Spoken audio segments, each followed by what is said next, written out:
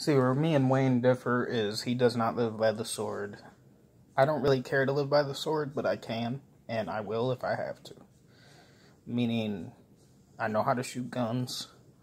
I know how to throw knives, throwing knives and non throwing knives.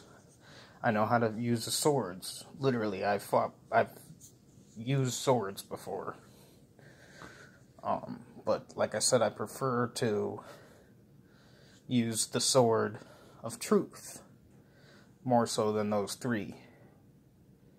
But, you know, there's just a point in time where enough is enough. And I'm just there now.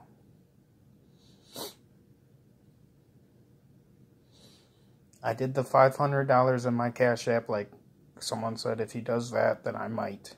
Well, I did that, so you know, this is this is the end of this bullshit for me. Okay?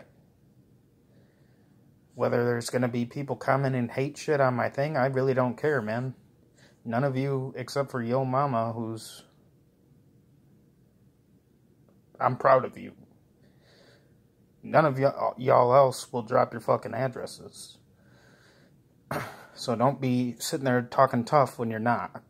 You can't, you're afraid to even admit where you are. Just saying. Alright, that's it.